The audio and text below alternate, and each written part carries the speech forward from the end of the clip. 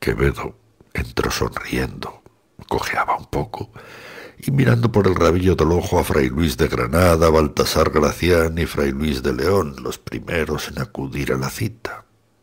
Luego entraron juntos Fernando de Rojas y Santa Teresa, lo que no dejó de causar cierto regocijado asombro a Quevedo.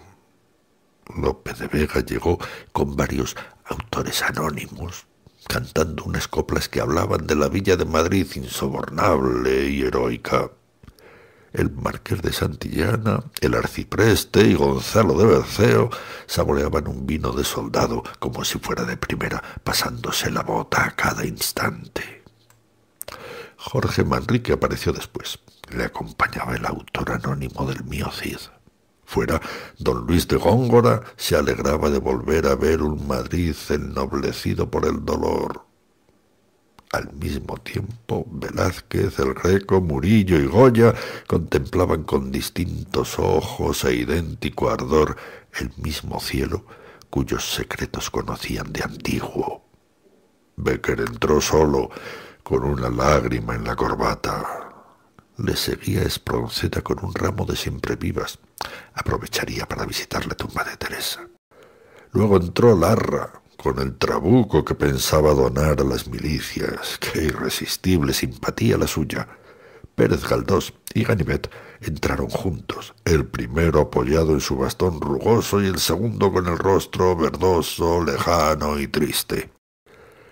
Todos daban muestras de impaciencia cuando apareció Valle Inclán haciendo el saludo antifascista con la mano que le faltaba, y todos se alegraron. De pronto se produjo un gran silencio. Federico García Lorca hizo su entrada. Estaba un poco pálido, pero sonrió a todos. Qué irresistible simpatía la suya. Santa Teresa se acercó a él dándole un beso en la frente, en la que se veía un agujero rojo. Pedro Espinosa, Garcilaso, el conde de Villamediana y Calderón, que llegaron enseguida, sentáronse a su lado.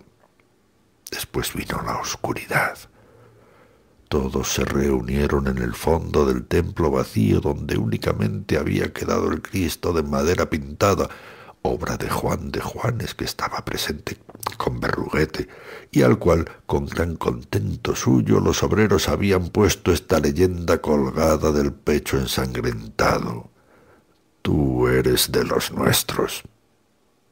Fue entonces cuando el templo se iluminó con la luz, luz él mismo, llegó don Quijote.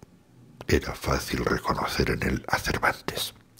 Después de saludar con una inclinación de cabeza, levantó levemente la lanza señalando hacia el oeste de la ciudad. Todos se incorporaron. Encaminóse a la puerta del templo. Todos le siguieron.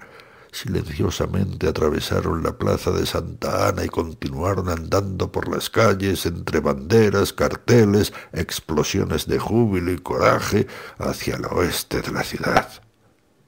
Ellos podían ver, pero a ellos no los veían. En el oeste de la ciudad había comenzado la lucha.